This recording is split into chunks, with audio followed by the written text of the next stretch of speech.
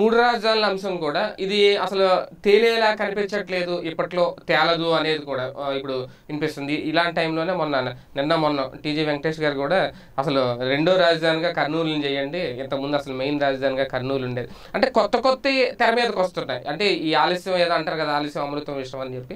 ఈ ఆలస్యం కావడం వల్ల ఇవన్నీ వస్తున్నాయి. అసలు ఈ మూడు రాజధానుల అంశాన్ని తెర మీద తీసుకొచ్చారు కానీ ఇది సాధ్యం అవుద్దా? ఒక పక్క వాళ్ళు చేసే ఆ దీక్షలు ఇంకా అలాగే కంటిన్యూ అవుతున్నాయి. బోర్డులు పెడుతున్నారు మూడు వందల ఇరవై మూడు వందల అరవై రేపు పొద్దున్న నాలుగు వందలు కూడా పెడతారు. అంటే దీనికి ఎందుకు ముగింపు పలకలేకపోతుంది అది ముగింపు పలకడం సాధ్యం కాదు. పాలసీ మ్యాటర్లో అది క్లియర్. ఇక్కడ దాంట్లో మాట్లాడే వాళ్ళలోనే ఒక క్లారిటీ లేదు. ఏంటంటే అభివృద్ధి కేంద్రీకరణ. ఇది ఎంతసేపటికి రాజధాని మూడు రాజధానులు అంటున్నారు. అది కాదు. అభివృద్ధి కేంద్రీకరణ వికేంద్రీకరణ. దీంట్లో పాలనా వికేంద్రీకరణ అభివృద్ధి వికేంద్రీకరణ ఎట్లా అంటారు? అంటున్నారు. పాలనా కేంద్రీకరణతో పాటు అమరావతిలో అభివృద్ధి కేంద్రీకరణ జరిగింది. మూడు అంగాలు అక్కడ పెట్టడమే కాదు నవనగరాలు అక్కడే అన్నాం. లక్ష కోట్లు సంపాదించే నగరం అన్నాం. అలాంటి చోట్ల దాన్ని వీళ్ళు వల్ల కాదు కాబట్టి ఇంకోటి అది చెయ్యాలి అంటే మినిమం లక్ష నలభై వేలు లక్ష డెబ్బై వేల కోట్లు మినిమం ఇన్ఫ్రాస్ట్రక్చర్ కావాలి. మూడు రాజధానులు ఖర్చు అవుతాయి అనేవాళ్ళు ఈ లక్ష డెబ్బై వేలు మాట్లాడట్లా. అదేమంటే ఇక్కడతో సరిపోదంటారు ఇక్కడతో సరిపోతే ఇంకా రైతులు ఎందుకు భూమి కదా. పల్లెటూళ్ళలో వాళ్ళు ఉండడానికి ఆడ భూమి ఇచ్చుకుని ఊరిగా అవును కాబట్టి అక్కడ ఆ డెవలప్మెంట్ జరగాలి. జరిగితేనే లెక్క. జరగాలి అంటే లక్షన్నర కోట్ల లక్ష డెబ్బై వేల కోట్లు పెట్టాలంటే రాష్ట్ర బడ్జెట్ అంతా ఒక రెండేళ్ళ పాటు మూడేళ్ళ పాటు ఏం తినకుండా మొత్తం తీసుకెళ్ళి ఆడ పోస్తే ఆ తర్వాత ఒక పదేళ్ళకో పదిహేను ఏళ్ళకో డెవలప్ అయితే అప్పుడు దాని మీద వచ్చేటువంటిది లక్ష కోట్లు అనేది. ఇంతవరకు లక్ష కోట్ల రూపాయలు ఒక ముంబైలో వస్తుంది అనుకుంటా అంత మించి ఇంకో నగరంలో ఎక్కడా లేదు. తెలంగాణలో కూడా హైదరాబాద్లో కూడా యాభై ఐదు వేల కోట్లు. నాలుగు వందలేళ్ళ చరిత్ర కలిగింది యాభై ఐదు వేల కోట్లు వస్తే నాలుగేళ్ళ చరిత్ర కలిగింది లక్ష కోట్లు వస్తుంది అనేది అంతకంటే అమాయకత్వం మూర్ఖత్వం ఇంకోటి ఉండదు. అది అయిపోయింది. ఇప్పుడు అక్కడ అంత పెట్టుబడి పెట్టు అంటున్నారు ఇక్కడ. ఇది మూడు పెడితే తప్పు అంటున్న వాళ్ళు అక్కడ లక్షన్నర కోట్లు పెట్టుబడి పెట్టమంటున్నారు.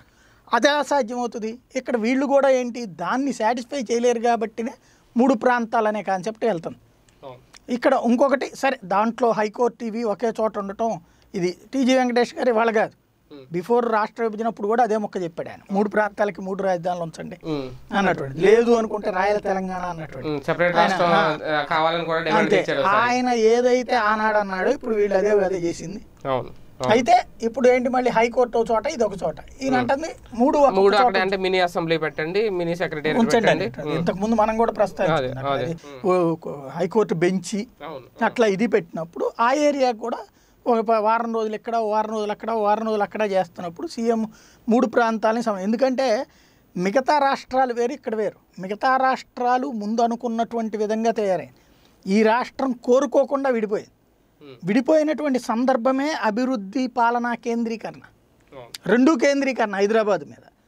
అప్పుడు ఆ డెబ్బై ఏళ్ళలో ఎక్కడా కూడా ఇక్కడ డెవలప్మెంట్ జరగల. రాజధాని చుట్టూనే డెవలప్మెంట్ జరుగుతుందనడానికి సాక్ష్యమే ఒక బెంగళూరు.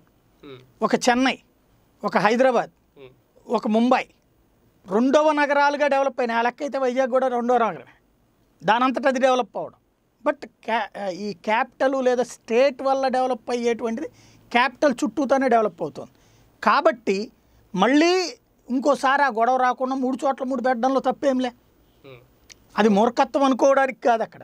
దాంట్లో ఏంటి ఎవ ఎక్కడా లేదు. నిజమే ఎక్కడా లేదు. ఎక్కడా లేని విధంగానే విడిపోయాంగా మనం కూడా. ఎక్కడా లేని విధంగానే రాష్ట్రం విడిపోయిన తర్వాత డెబ్బై ఏళ్ళ రాష్ట్రం కలిసి ఉన్నాక డెబ్బై ఏళ్ళ తర్వాత విడిపోవడం కూడా ఇప్పుడే కదా. సరే మధ్యప్రదేశ్ ఛత్తీస్గఢ్ ఇది విడిపోయింది. ఆ ప్రాంతం వాళ్ళు నాకు కావాలంటే విడదీశారు. ఇక్కడ మేము విడిపో మొర్రు అంటే విడదీశారు. అంటే ఎక్కడా లేనిదే ఇక్కడ మమ్మల్ని కలిసి ఉంచండ్రా మొర్రు అంటే విడదీసినప్పుడు. ఎక్కడా లేనిదే జరిగింది కదా. కాబట్టి ఆ పరిస్థితి రాకుండా ఉండాలంటే మూడు ప్రాంతాలకు సంబంధించినటువంటిది అభివృద్ధి. ఇప్పుడు నవనగరాల్ని మూడు మూడు చేయి. మూడు మూడు ప్రాంతాల్లో మూడు మూడు చేయి. లేదా పదమూడు జిల్లాల్లో ఒక్కొక్కటి చేయి నవనగరాలని పన్నెండు నగరాలు చేయి. పన్నెండు ప్రాంతాలు పన్నెండు జిల్లాలకి పన్నెండు చేయి అది సిస్టమ్ అవుతుంది కానీ దాని మీద ఖచ్చితంగా చర్చ జరగాల్సింది. అది చర్చ జరగకుండా రచ్చ జరుగుతావు. అది తప్పు నియంతృత్వము దుర్మార్గం అనేది. నువ్వు హైదరాబాద్లో ఏదైతే నష్టపోయామో హైదరాబాద్లోనే మొత్తం కేంద్రీకృతం వల్ల ఈవెన్ స్టిల్ నవ్వు తెలంగాణ. ఏముంది డెవలప్మెంట్ ఎక్సెప్ట్ హైదరాబాద్? వరంగల్ ఈ నగరాలు ఉన్నాయి. ఇక్కడ నగరాలు ఉన్నాయి. ఏం కర్నూలు ఏమైనా చిన్న నగరమా? లేకపోతే కడప ఏమైనా చిన్న నగరమా? గుంటూరు ఏమైనా చిన్న నగరం? నగరాలు ఉండటం వేరు అభివృద్ధి వేరు. అభివృద్ధి జరుగుతాయి అక్కడ కూడా. ఇప్పుడు కర్నూలు మహబూబ్ నగర్ ఇవన్నీ కూడా జరుగుతాయి. కానీ హైదరాబాద్ అంత డెవలప్మెంట్ ఉన్నది కదా? దాంతో పోటీ ఉండదు కదా? ఇక్కడైనా అంతే కదా? ఇప్పుడు వైజాగ్ను కొత్తగా చేయక్కర్లే వైజాగ్లో నాలుగు బిల్డింగులు కట్టుకుని కూర్చుంటే ఆటోమేటిక్గా అదే ఉంటుంది. సీఎంను అక్కడ కలవచ్చు అనుకున్నప్పుడు ఏముంటుంది? ఎందుకు మనం అన్ని ఇన్వెస్ట్మెంట్ మీటింగ్లన్నీ వైజాగ్లో ఎందుకు పెట్టాం? వచ్చి చూసేవాడికి ఇక్కడ పల్లె పల్లెటూళ్ళు అయితే ఎవడ రాడని. అక్కడ పెట్టేది. ఇక్కడికి వచ్చేటప్పటికి వద్దంటున్నాం. అక్కడే వస్తున్న తేడా అంతా కూడా. ఈ వీడియో గనుక మీకు నచ్చినట్లయితే లైక్ చేయండి షేర్ చేయండి. మరిన్ని వీడియోస్ కోసం మా ఛానల్ను సబ్స్క్రైబ్ చేయండి.